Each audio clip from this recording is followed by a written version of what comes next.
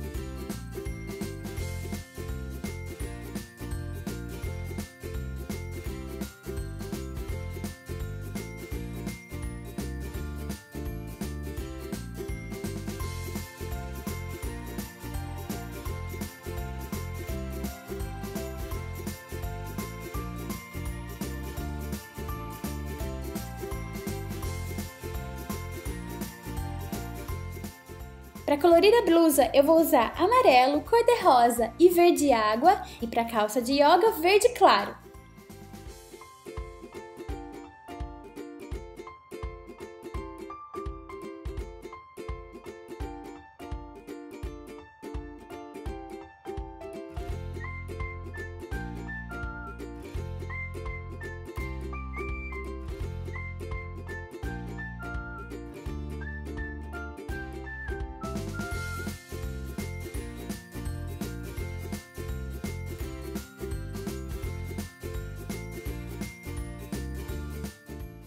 E agora, por último, o tapete de yoga que é azulzinho claro.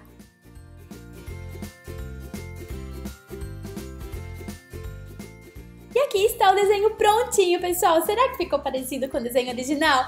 Vão lá nos comentários e deem uma nota pra mim de 0 a 10 0 para quem não gostou do desenho e 10 se vocês gostaram muito, muito, muito. Então tá, meus amores, um grande beijo no coração de todos vocês. Fiquem com Deus e a gente se vê amanhã. Tchau!